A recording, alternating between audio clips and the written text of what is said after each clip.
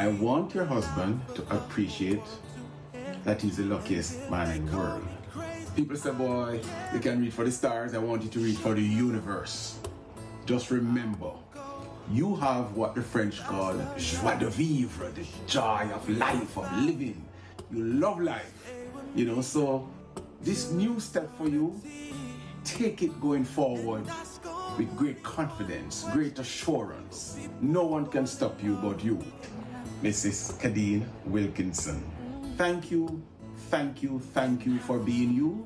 You are the epitome of determination, ambition, drive, patience, perseverance, success. And I will have a little talk with your husband and make him know what time it is. You see that? Somebody I say. You see that? So, take care until.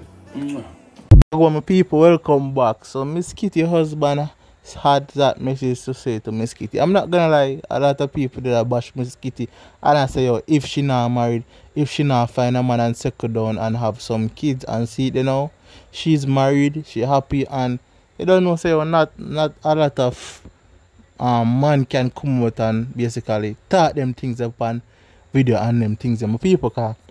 I think it was on CVM, him at Sunrise.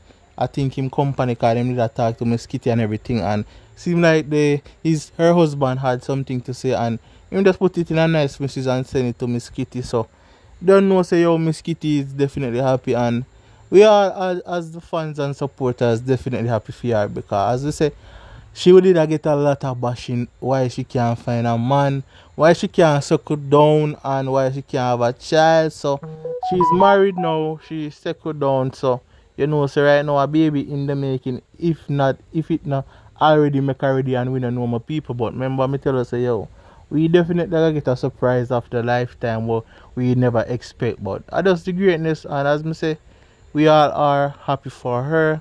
You don't know how everything goes so have to just wish her all the best. And me respect um Miss Kitty husband for do that fear because I say not much um men can come out and talk them things up on live television or video so you don't know say yo him have a lot of respect for Miss Kitty and Miss Miss Kitty have a lot of respect for him as well.